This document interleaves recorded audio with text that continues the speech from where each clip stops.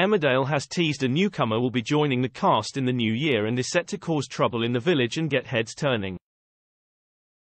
Former Coronation Street actress Paula Lane has been announced as joining the cast of ITV's Emmerdale and is due to make her debut on screen in January.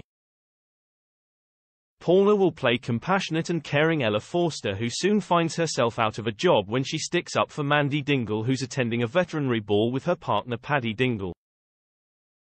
Far from a pushover, luck is soon to come Ella's way when a chance encounter with Manpreet Sharma opens up an opportunity. And it's not long before Ella is turning heads in the village, but whose heads are turning?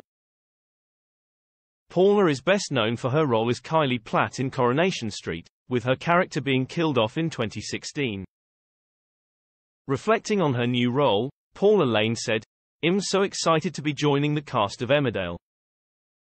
Everyone has been so welcoming and I can't wait to start a new chapter playing the role of Ella. I've already heard there are big plans for her and I can't wait to see her navigate a new life in the village and hopefully make some friends.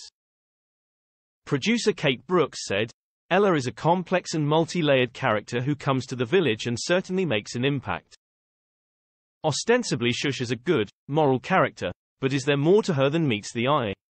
We are absolutely thrilled to welcome an actor of Paula's caliber to the show and we can't wait to have her light up our screens. Producer Laura Shaw recently teased what viewers can expect to see during the Christmas period.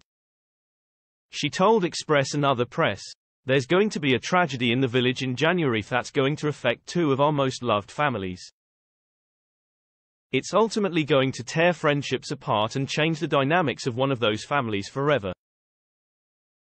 Laura also confirmed a familiar face will make a return and said, a familiar face is returning in the new year. This person comes back to help one of our villagers who is in a bit of trouble.